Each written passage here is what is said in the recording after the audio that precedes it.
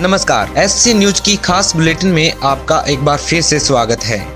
भारतीय गृह मंत्रालय जारी करेगा नई गाइडलाइंस कुछ जिलों को 5 मई से लॉकडाउन में मिल सकती है ढील। ममता बनर्जी ने पश्चिम बंगाल में कोविड 19 लॉकडाउन को बढ़ाने का दिया संकेत। दिल्ली हरियाणा बॉर्डर पर देखने को मिली अजीबोगरीब स्थिति दिल्ली वाले न पार कर सके बॉर्डर इसलिए हरियाणा में सीमा पर खोद डाली सड़क। उत्तर प्रदेश के बाद अब बिहार में भी पाँच कक्षाओं के 75 लाख बच्चों की दूरदर्शन से होगी पढ़ाई। वाराणसी में दरोगा समेत छह पुलिसकर्मी पाए गए कोरोना पॉजिटिव दवा कंपनी से जुड़ा एक कर्मचारी भी आया वायरस की चपेट में। कामगारों से सीएम योगी की भावुक अपील सबर रखें हम आपको घर पहुंचाएँगे। चंडीगढ़ से यूपी नौ दिन में 900 किलोमीटर चले मजदूर तीन दिन से नहीं मिला था खाना। लॉकडाउन में ग्राहकों की सुविधा के लिए पेटीएम ऐप ने किया बदलाव। ज़रूरी पेमेंट होगी आसान, साथ ही कोविड 19 की सही जानकारी भी मिलेगी। प्रधानमंत्री नरेंद्र मोदी और राष्ट्रपति रामनाथ कोविंद की ट्विटर आईडी को अनफॉलो करने के संदर्भ में व्हाइट हाउस का बयान, कहा, अमेरिकी राष्ट्रपति किसी देश का दौरा करते हैं तो उस देश के आधिकारिक ट्विटर हैंडल को कुछ दिन के लिए व्हाइट हाउस के द्वारा किया जाता है फॉलो।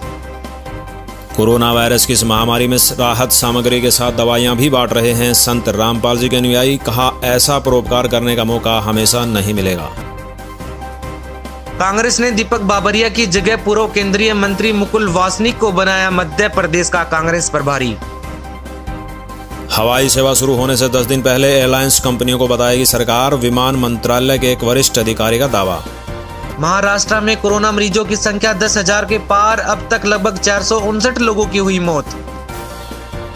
अमेरिका में पिछले 24 घंटे में कोरोना वायरस से 2502 लोगों की मौत अब तक साठ लोग गवा चुके हैं जान। पंजाब में 17 मई तक बड़ा कर्फ्यू 35 नए केस पाए गए कोरोना पॉजिटिव। जम्मू और कश्मीर ने लॉकडाउन के कारण प्रभावित लोगों के लिए 350 करोड़ रुपए के राहत पैकेज को दी मंजूरी। उत्तर प्रदेश के सीएम योगी आदित्यनाथ सरकार ने 30 जून तक लगाई मास गैदरिंग पर रोक सील रहेंगे बॉर्डर कोरोना वायरस के बढ़ते कहर को देखते हुए दिए गए दिशा निर्देश।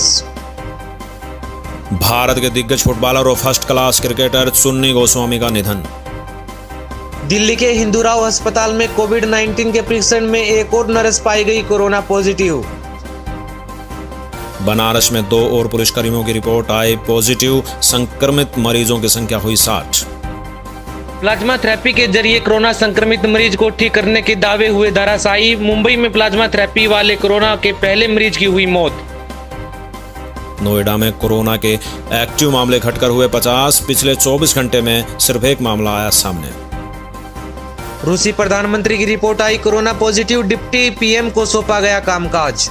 गूगल ने लॉन्च किया अपना न्यू गूगल मीट ऐप। एक साथ सोलो कर सकते हैं मीटिंग। देश और दुनिया की तमाम खबरों में फ़िलहाल इतना ही।